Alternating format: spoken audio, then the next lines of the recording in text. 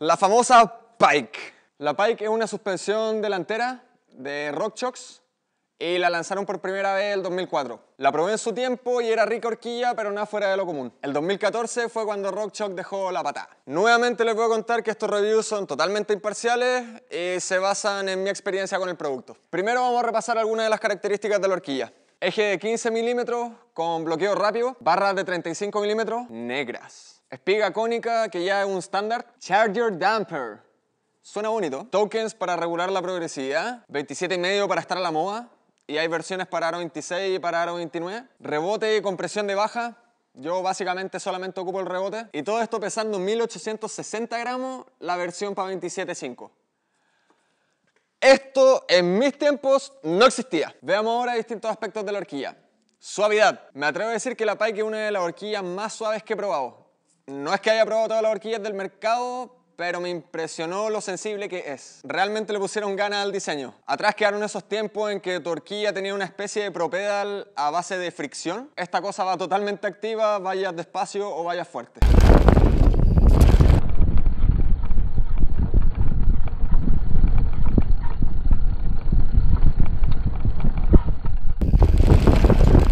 Uso del recorrido. Otro punto a favor es que cuando entra una curva frenando fuerte, la horquilla no tiende a hundirse y comerse todo el recorrido en la frenada. Esto claramente depende de qué tan fuerte entres y cuál es tu postura arriba de la bicicleta, pero da la sensación de que siempre hay una reserva de recorrido que te puede salvar de algún error y tu peso no tiende a estar completamente sobre la rueda delantera. Tuning. Mi horquilla tiene compresión y rebote. Es el modelo RC. La regulación de compresión básicamente no la uso y la regulación de rebote tiene un buen rango para ajustar el tacto. Lo más interesante desde mi punto de vista son los tokens. Si andas fuerte, considera meter una o dos de estas cosas dentro de la cámara de aire. Lo recomiendo básicamente porque la horquilla de fábrica es bastante lineal y mejora muchísimo con los espaciadores de volumen. Sobre la presión de aire, la tabla que trae da buenos resultados, pero como les comentaba en el video de SAC, les recomiendo que lo hagan con prueba y error porque es la manera más precisa ya que los rangos que da igual son bastante grandes. Esta horquilla está diseñada para enduro, pero de que aguanta, aguanta. Normalmente no ando arriba de bicicletas que sé que pueden fallar y sabiendo el peso de la horquilla, lo primero que hice fue preguntar si es que se sabía de pikes quebradas en Chile. Claramente no horquillas que le haya pasado un camión por encima, sino que se hayan roto con el uso. Ya que si algo tienen las horquillas es que si se parten,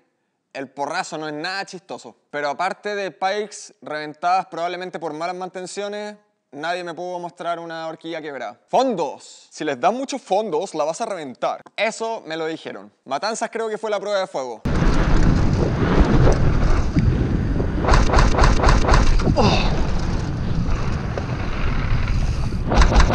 ¡Uy!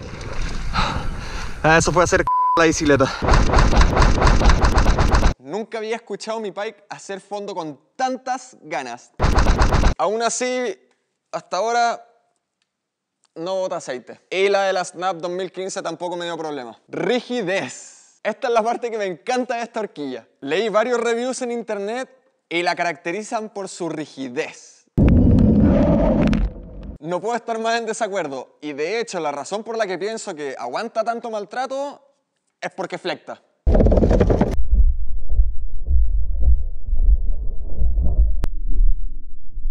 Aquí tengo sentimientos encontrados porque para lo que pesa anda increíble.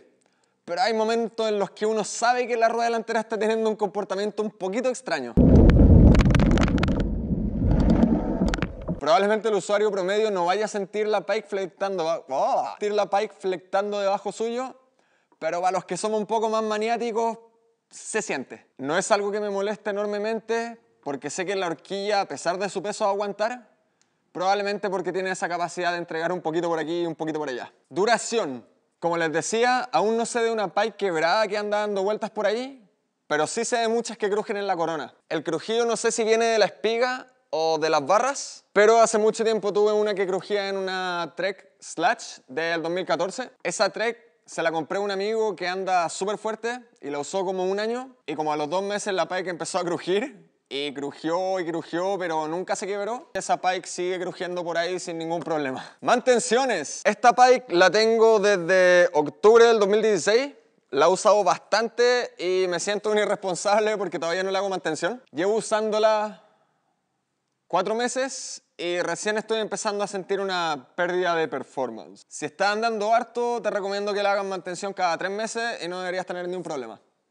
No hagas lo que yo hago. Si te gustó este video, dame un like. Si tienes algún amigo que tenga una Pike, compártelo. Y suscríbete al canal para seguir viendo videos de este estilo. Nos vemos en el cerro.